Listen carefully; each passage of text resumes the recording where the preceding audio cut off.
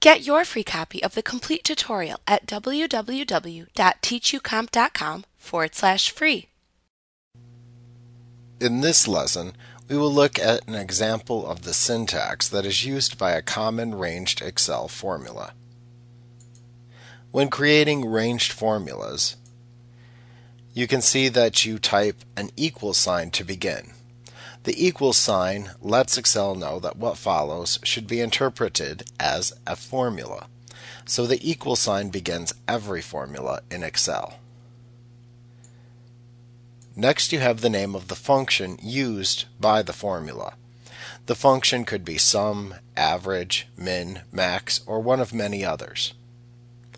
Next you have the cell range upon which you are performing this particular function. The cell range is a reference to cells that is always enclosed in parentheses.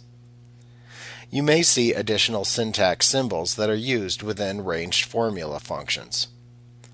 The colon is used to separate the first and last cells within the cell range. It's equivalent to the word through in English. So if you were reading this formula from left to right, this cell should equal the sum of B2 through B5. You may also see a comma, and a comma is used to separate items in a list.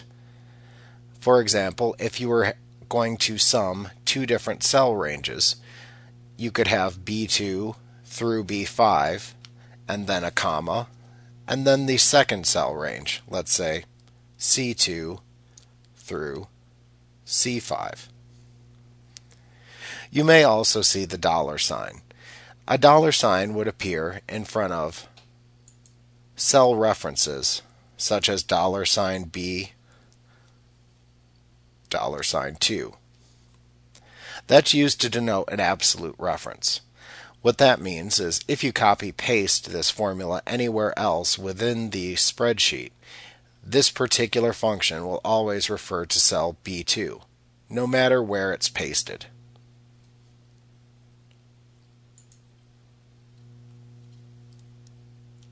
Like what you see? Pick up your free copy of the complete tutorial at www.teachucomp.com forward slash free.